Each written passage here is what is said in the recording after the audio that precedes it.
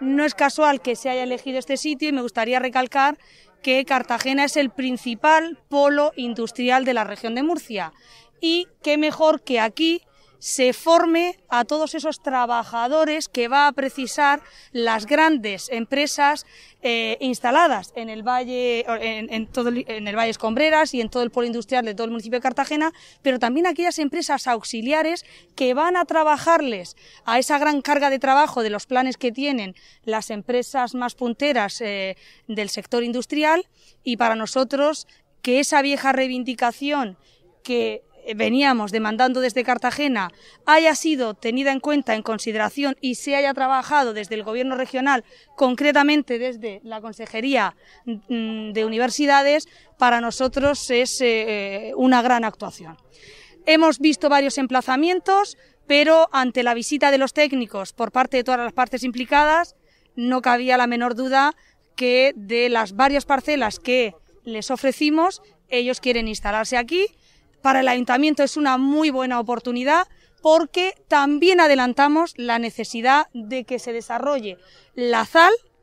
Todo al final va teniendo su coherencia y el relato del Ayuntamiento de Cartagena y de los agentes sociales y económicos. Aquí es donde está el presente y tenemos que gestionar el futuro, con el traslado del depósito franco, con el desarrollo de la zona de actuación logística y también, qué mejor que aquí quede enclavado la escuela de formación donde vamos a formar a todos esos trabajadores que nos van a ayudar a salir a esa gente del paro que se ha quedado en la cuneta, a formar a trabajadores para ese nuevo resurgir industrial. Y la verdad es que hoy es un día importante y me gustaría resaltar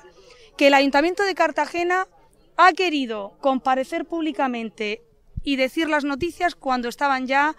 llenas de rigor y con cierta seguridad. Y eh, conseguí el compromiso de frente que era el momento de venirse a Cartagena. A partir de ahí estuvimos explorando incluso dependencias que tenía el SEF, pero había un problema, problemas legales insalvables y fue en ese momento, después de tener a COEC, a FREN, cuando fuimos al ayuntamiento a solicitar espacio. Nuestra gran sorpresa fue que el ayuntamiento, la acogida a la iniciativa fue eh, brillante, la verdad, y a partir de ahí eh, vamos, y yo intento a una vez por semana ir avanzando, ¿no? Entonces ya están viendo planos, hoy venimos a verlo y bueno, eh, esto tiene que ser una realidad.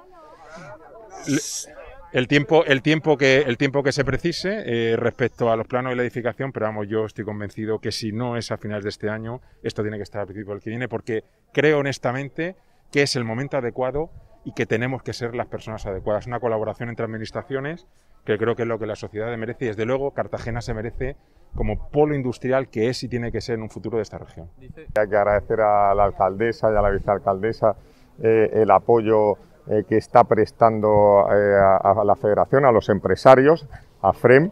para que esto sea una realidad. Y vamos a ver los terrenos